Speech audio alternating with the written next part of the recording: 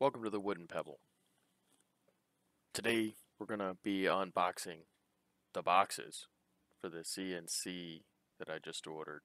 It's from Sienci Labs. It's a LongMill MK2 30 by 30. Um, I will say I did open the box before, um, but I thought, you know what, this might be neat to put online and, and just show some of the other people who might be interested in this product uh, what it looks like when it's packed, the whole process of unpacking, uh, from a person who has no idea what they're getting themselves into. So, uh, first thing I noticed about the box is, is it's it, it's it's heavy. Kind of shocking.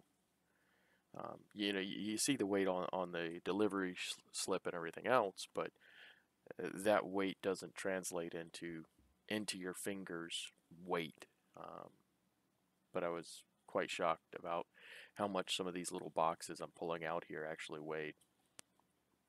Also, I apologize. Uh, I, I, was talking during the video, um, but I live in the south.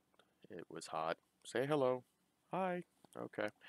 Um, yeah. It, it's hot here. Uh, so I had two fans going on, the garage door open, uh, the garage is, of course, the workshop. And uh, yeah, so the the audio was not clear or good. You had heard dog barking and a fan more than you heard me. So doing a little bit of a voiceover. I apologize. I know the first few videos is going to be cringy, but we'll make it work. Uh, the welcome pouch, the thing I'm opening right now. Um, I just found that odd. They had like this tiny little welcome pouch in there. Um, that wrench is heavy duty.